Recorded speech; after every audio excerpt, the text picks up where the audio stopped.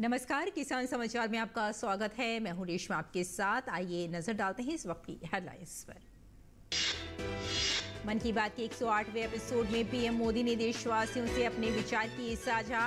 इस साल की अंतिम कड़ी में देश की उपलब्धियों का किया ज़िक्र, कहा आत्मनिर्भर भारत के सपने को साकार करता देश अब नहीं रुकने वाला।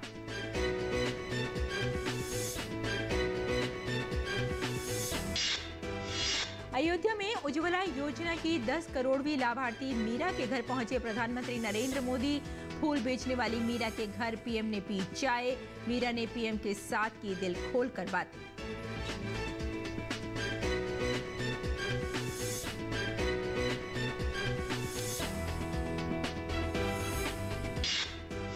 केंद्रीय मंत्री अमित शाह ने गांधीनगर में National Cooperative Dairy Federation of India Limited के मुख्यालय का किया शिलान्यास। कहा, भारत में पिछले आठ वर्षों में दूध उत्पादन में हुई लगभग इक्यावन प्रतिशत की वृद्धि। आज दुग्ध उत्पादन में भारत विश्व में पहले स्थान पर।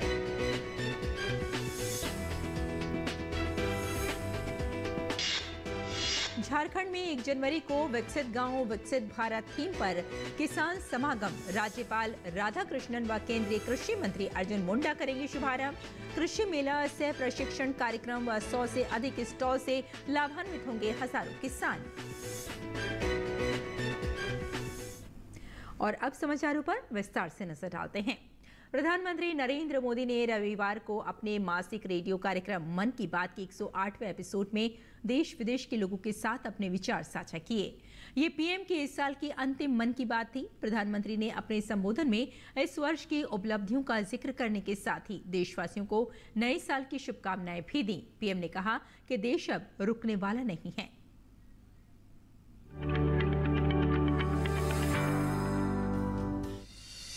मन की बात के 108वें एपिसोड में प्रधानमंत्री नरेंद्र मोदी ने कहा कि अपने परिवारजनों के साथ मिलना उनके लिए बेहद सुखद होता है। 2023 के अंतिम मन की बात में पीएम ने इस साल देश की तमाम उपलब्धियों को देशवासियों के साथ साझा किया। इसके साथ ही प्रधानमंत्री ने देशवासियों के आने वाले नूतन वर्ष की शुभकामनाएँ भी दी। हमारे यहाँ 108 अंक का महत्व, उसकी पवित्रता एक गहन अध्ययन का विषय है। माला में 108 मन के 108 बार जप 108 दिव्य क्षेत्र, मंदिरों में 108 सीढ़ियाँ 108 घंटियाँ 108 का ये अंक असीम आस्था से जुड़ा हुआ है। इसलिए मन की बात का 108वां एपिसोड मेरे लिए और खास हो गया है। इन 108 एपिसोड्स में हमने जन भागीदारी के कितने ही उदाहरण देखे हैं, उनसे प्रेरणा पाई है। अब इस पड़ाव पर पहुँचने के बाद हमें नए सिरे से नई ऊर्जा के साथ और तेज गति से बढ़ने का संकल्प लेना है। और ये कितना सुखद संयोग है कि कल का सूर्योदय 2024 का प्रथम सूर्योदय होगा। हम वर्ष 2024 में प्रवेश कर चुके होंगे। आप सभी को 2024 की बहुत बहुत शुभकामनाएँ। पीएम ने कहा कि 140 करोड़ भारतीयों की ताकत के बलबूते इस साल हमारे देश ने कई विशेष उपलब्धियाँ हासिल की हैं। आज विकसित भारत का कोना कोना आत्मविश्वास और आत्मनिर्भरता की भावना से ओतप्रोत है। इसी साल नारी शक्ति बंधन अधिनियम पास हुआ। जिसकी प्रतीक्षा बरसों से थी, बहुत सारे लोगों ने पत्र लिखकर भारत के पांचवी सबसे बड़ी अर्थव्यवस्था बनने पर खुशी ज़ाहिर की। अनेक लोगों ने मुझे जी ट्वेंटी समिट की सफलता याद दिलाई। साथियों, आज भारत का कोना कोना आत्मविश्वास से भरा हुआ है। विकसित भारत की भावना से, आत्मनिर्भरता की भावना से ओत प्रोत है 2024 में भी हमें इसी भावना और मोमेंटम को बनाए रखना है। दिवाली पर रिकॉर्ड कारोबार ने ये साबित किया कि हर भारतीय वोकल फॉर लोकल के मंत्र को महत्व दे रहा है। पीएम ने कहा कि चंद्रयान तीन की सफलता के बाद देशवासियों को अपने वैज्ञानिकों और विशेषकर महिला वैज्ञानिकों पर गर्व है। पीएम ने इस साल सिनेमा जगत में हासिल उपलब्धियों का भी ज़िक्र किया। जब नाटू नाटू को ऑस्कर मिला तो पूरा देश खुशी से झूम उठा। द एलिफेंट विस्परर्स को सम्मान की बात जब सुनी तो कौन खुश नहीं हुआ? इनके माध्यम से दुनिया ने भारत की क्रिएटिविटी को देखा और पर्यावरण के साथ हमारे जुड़ाव को समझा। प्रधानमंत्री ने अपने संबोधन में कहा कि देशवासी पूरे संकल्प के साथ अगर किसी उद्देश्य को हासिल करने में जुट जाते हैं तो उसे सिद्ध होने से कोई नहीं रोक सकता। Bureau report DD News.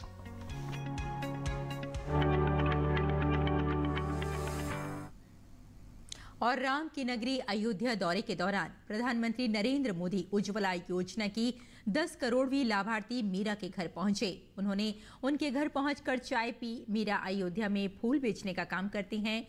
PM Modi ने न केवल महिला से हालचाल पूछा, बल्कि उनके बच्चों को भी दुलार दिया। उन्होंने महिला से उनकी ज़िंदगी का संघर्ष जाना। अचानक पीएम मोदी को सामने देख महिला को पहले तो कुछ नहीं सूझा, लेकिन बाद में उन्होंने देश के मुखिया से दिल खोल कर बातें की। इस मुलाकात के बाद महिला ने कहा कि प्रधानमंत्री का उनके घर आना किसी सपने से कम नहीं।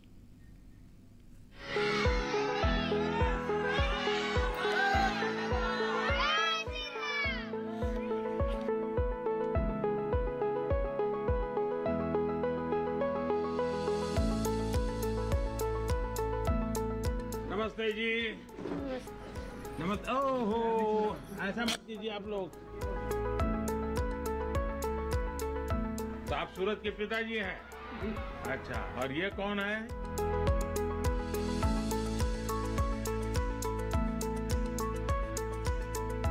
मालूम है मैं क्यों आया हूँ आपके घर? है मेरा मालूम है? ऐसा है कि हमने देश में दस करोड़ घरों में जी। ये गैस का सिलेंडर दिया। जी। और आपका नंबर लग गया दस करोड़ बा जी। तो इसलिए मैंने सोचा जिसको दस करोड़ मिला है मैं उसके घर जाऊँगा। तो बोले भाई अयोध्या में ही मिला है। जी। मैंने कहा चलो भाई मेरा के घर चले आए। हाँ। चलिए अच्छा हुआ आप मेरे घर पधार तो क्या पकाती हो इस पर? अभी तो आज दाल चावल सब्ज़ी पकाए हैं। आपके लिए चाय बनाए हैं। चाय बनाए? जी। तो पिलाओ ना फिर।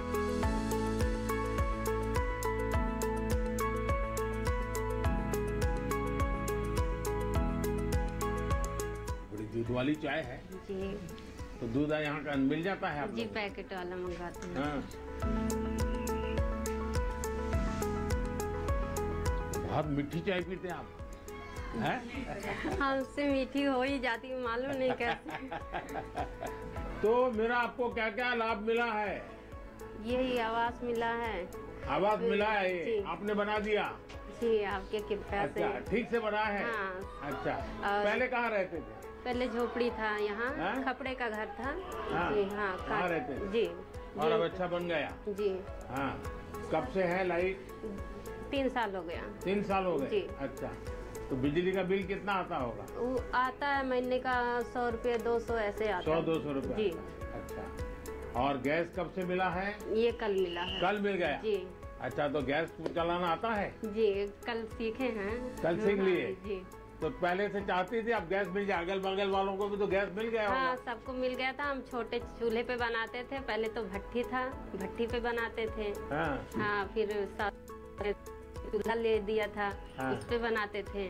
तो लकड़ी जलाते थे या? नहीं वो बुरादा अच्छा। बुरादा वो बाहर से लाना जी पड़ता था। खरीद अच्छा। के लाते थे हाँ। उसको। जी। तो अभी अभी तो आपको बहुत फ़ायदा हो जाए टाइम बच जाएगा। बहुत फ़ायदा हाँ? बच्चे बच्चे को थोड़ा टाइम देंगे हाँ। थोड़ा हाँ। तो मेरा जी आप कुछ काम वाम भी करती हैं? जी फूल बेचते हैं। फूल बेचते हैं? जी। कहाँ पर बेचते हैं? नए घाट तो अब तो लोग बहुत आते होंगे। जी हाँ अब तो फूल कम पड़ जाएँगे। तो आपको ये अनाज का योजना का लाभ मिलता है? जी जी। कितना अनाज मिलता है? दस किलो। और आपको गैस मिला जी। बिजली मिली जी। घर मिला जी। अनाज मिला जी।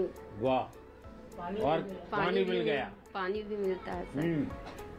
आप हम लोग का भगवान मिल गए। नहीं नहीं भगवान तो भगवान रामचंद्र जी है।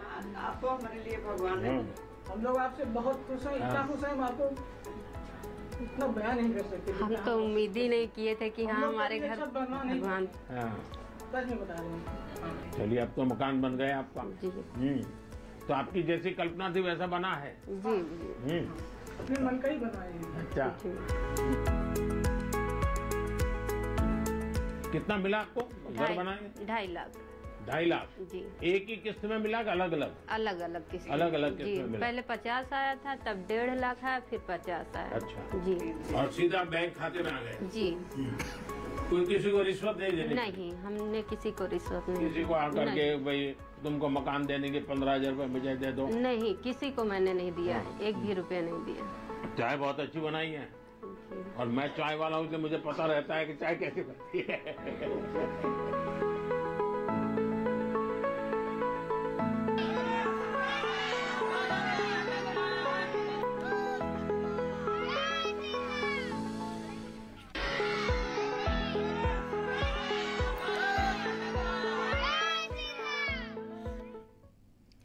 और भगवान राम के ननिहाल छत्तीसगढ़ से अयोध्या धाम के लिए 300 टन चावल भेजा गया है। रामलला के मंदिर में होने वाले प्राण प्रतिष्ठा कार्यक्रम में छत्तीसगढ़ के चावल से भगवान राम को भोग लगेगा और देश भर से आने वाले करीब 30 लाख राम भक्तों को प्रसाद का भी वितरण किया जाएगा। छत्तीसगढ़ के ढाई हज़ार राइस मिलर्स की ओर से जुटाए गए 300 टन चावल 11 ट्रकों में भरकर भेजे गए हैं। छत्तीसगढ़ के मुख्यमंत्री विष्णुदेव साय ने ध्वज दिखाकर 11 ट्रकों को रवाना किया। छत्तीसगढ़ के लिए बहुत ही सौभाग्य का विषय है, गौरव का विषय है कि भगवान राम के ननिहाल से हमारे छत्तीसगढ़ के अंदर में जो ढाई हज़ार से ज़्यादा राइस मिलर्स हैं, उनके सौजन्य से तीन हज़ार क्विंटल वो सुगंधित चावल अयोध्या भेजा गया।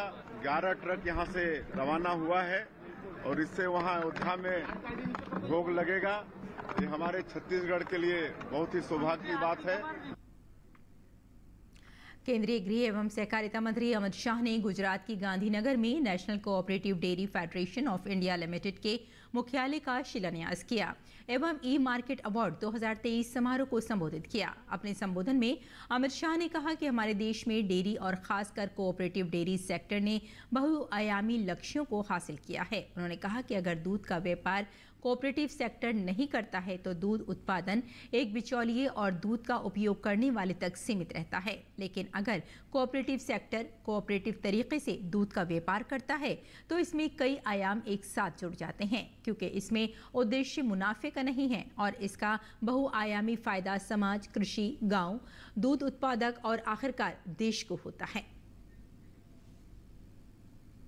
कोऑपरेटिव डेयरी सेक्टर इसने बहुआयामी लक्ष्यों को सिद्ध किया है। दूध का व्यापार एक प्रकार से अगर कोऑपरेटिव सेक्टर नहीं करता है तो दूध का व्यापार, दूध उत्पादक, एक बिचौलिया और दूध का उपयोग करने वाले तीन के लिए सीमित रहता है। मगर कोऑपरेटिव सेक्टर अगर कोऑपरेटिव तरीके से दूध का व्यापार करता है तो इसमें कई आयाम एक साथ जुड़ जाते हैं, क्योंकि उसमें उद्देश्य मुनाफे का नहीं है। इसलिए मल्टी डायमेंशनल फ़ायदा समाज को, कृषि को, गाँव को, दूध उत्पादक को और अंततोगत्वा देश को होता है। और ये सफलता की गाथा भारत ने विगत 50 साल में बहुत सुपेरे इसकी अनुभूति की है। जब कोऑपरेटिव सेक्टर डेयरी का बिज़नेस करता है, तब सबसे पहला फ़ायदा होता है दूध उत्पादकों का, क्योंकि उनका शोषण नहीं होता है। अकेला एक दूध उत्पादक होता है तो उसके पास दूध के स्टोरेज की व्यवस्था नहीं होती है और मार्केट को वो एक्सप्लोर नहीं कर सकता। मगर कोऑपरेटिव सेक्टर से करते हैं। तो एक गाँव का दूध संघ होता है, वो सभी गाँव के दूध संघ का एक जिला का दूध संघ होता है और सभी जिला के दूध संघ का अमूल जैसा फेडरेशन जो अब देश के हर राज्य में लगभग लगभग बन चुका है, सफलता से चलता है। उन्होंने कहा कि भारत ने पिछले 50 साल में इस सफलता की गाथा की अनुभूति की है। सहकारिता मंत्री ने कहा कि आज विश्व के दुग्ध उत्पादन में भारत 24 प्रतिशत हिस्से के साथ पहले स्थान पर पहुँच चुका है और प्रधानमंत्री नरेंद्र मोदी के नेतृत्व में भारत में पिछले आठ वर्षों में दूध उत्पादन में लगभग इक्यावन प्रतिशत वृद्धि हुई है, जो विश्व में सबसे तेज़ी के साथ हुई बढ़ोतरी है। आज विश्व के दुग्ध उत्पादन में भारत 24 प्रतिशत हिस्से के साथ सबसे एक नंबर पर पहुँचा है और भारत में पिछले आठ वर्षों में लगभग लगभग इक्यावन प्रतिशत वृद्धि दुग्ध उत्पादन में हुई है, जो विश्व में सबसे तेज़ी के साथ बढ़ने वाले हम हैं। मित्रों, ये इसीलिए संभव हुआ है कि ज़्यादातर ये कोऑपरेटिव डेयरी के माध्यम से हुआ है। और 1 जनवरी 2024 को झारखंड के खरसावा में किसान समागम का आयोजन होगा। झारखंड के राज्यपाल सीपी राधाकृष्णन और केंद्रीय कृषि एवं किसान कल्याण मंत्री अर्जुन मुंडा शुभारंभ करेंगे। किसान समागम या कृषि मेला सह प्रशिक्षण कार्यक्रम केंद्रीय कृषि एवं किसान कल्याण मंत्रालय द्वारा आयोजित किया जा रहा है। मेले में कृषि एवं संबद्ध क्षेत्रों से जुड़े सरकारी विभागों, निजी संस्थानों, स्टार्टअप आदि द्वारा सौ से अधिक स्टॉल लगाए जाएँगे, जो हज़ारों किसानों के साथ ही खेती किसानी क्षेत्र से जुड़े अन्य लोगों के लिए ज्ञानवर्धक और प्रेरणादायी होंगे।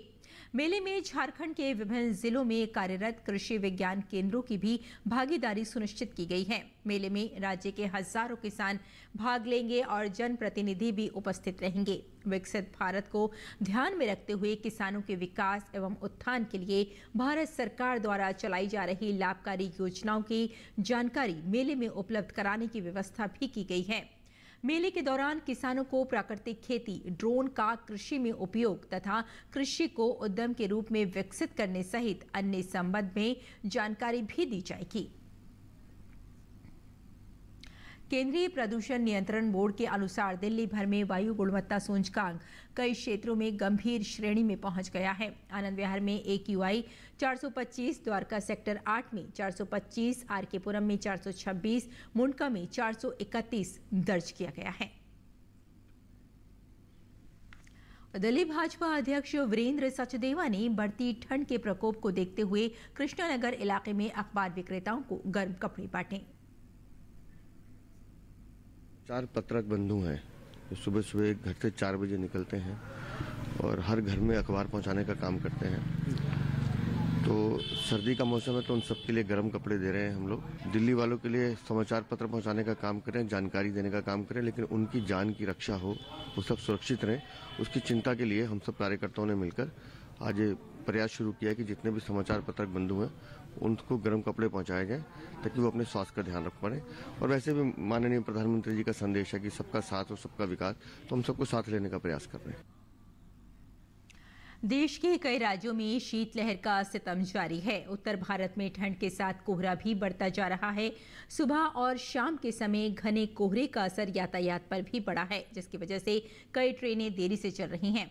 वहीं हवाई सेवा भी काफ़ी प्रभावित हुई है। मौसम विभाग ने दिल्ली, पंजाब, हरियाणा और चंडीगढ़ में घने कोहरे का रेड अलर्ट जारी किया है। उत्तर प्रदेश में भी कोल्ड डे की स्थिति होने की संभावना जताई गई है।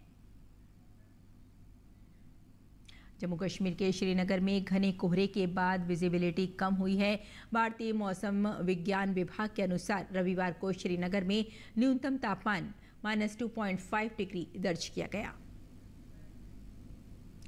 नई दिल्ली में जारी नेशनल स्ट्रीट फ़ूड फेस्टिवल का शनिवार को दूसरा दिन था। इस मेले की खास बात यह है कि यहाँ पर लगाए गए ज़्यादातर स्टॉल्स प्रधानमंत्री स्वनिधि योजना के लाभार्थियों के हैं।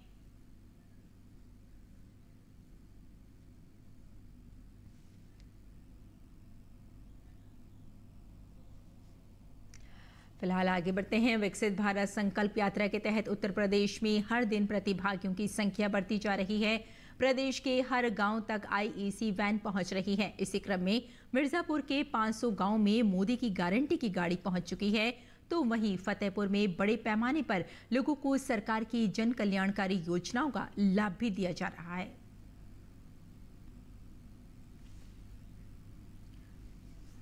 और फ़िलहाल अब नज़र डाल लेते हैं कुछ और महत्वपूर्ण खबरों पर खास खबर में।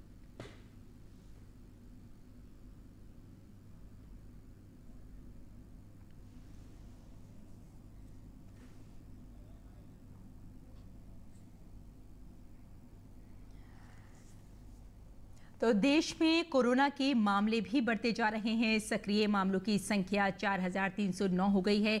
वहीं पिछले 24 घंटों में कोरोना के 841 मामले दर्ज किए गए। इस दौरान तीन लोगों की मौत भी हो गई है।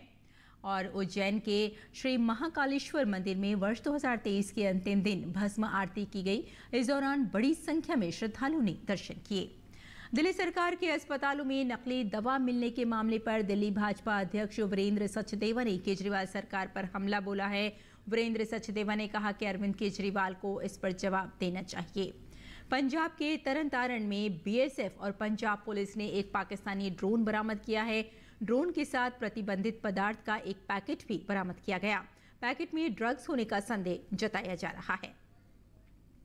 महाराष्ट्र के छत्रपति संभाजी नगर में एक फैक्ट्री में भीषण आग लग गई। आग में झुलसने के कारण छह लोगों की मौत हो गई। अग्निशमन विभाग के अधिकारी के अनुसार फैक्ट्री दस्ताने बनाने का काम करती है। हादसे के वक्त आठ से दस कर्मचारी फैक्ट्री में सो रहे थे। केंद्रीय शिक्षा मंत्री धर्मेंद्र प्रधान ने ओडिशा के संबलपुर में कौशल रथ को झंडी दिखाकर रवाना किया। कौशल रथ राज्य में युवाओं को प्रशिक्षण, रोज़गार और स्वरोजगार के माध्यम से कौशल से जोड़ेगा। नए साल से पहले देश भर में सुरक्षा व्यवस्था कड़ी कर दी गई है। राजधानी दिल्ली में लगने वाली सीमाओं पर सुरक्षा बढ़ा दी गई है। विभिन्न इलाकों में बड़ी संख्या में पुलिस बल की तैनाती की गई है। वहीं उत्तर प्रदेश में भी नए साल के जश्न को लेकर पुलिस अलर्ट मोड में है। नए साल के आगमन से पहले देश भर में उमंग और उत्साह का नज़ारा देखने को मिल रहा है। बिहार के कश्मीर कहे जाने वाले पश्चिम चंपारण के वाल्मीकि नगर में भी पर्यटकों की भारी भीड़ उमड़ने लगी है। वर्ष 2023 की विदाई और नए साल 2024 के लिए देश के अलग अलग राज्यों से एक मनमोहक नज़ारा देखने को मिल रहा है। ये नज़ारा है दिसंबर की आखिरी सुबह, यानी इस साल का अंतिम सूर्योदय। तो किसान समाचार में फ़िलहाल इतना ही। अनुमति दें। नमस्कार।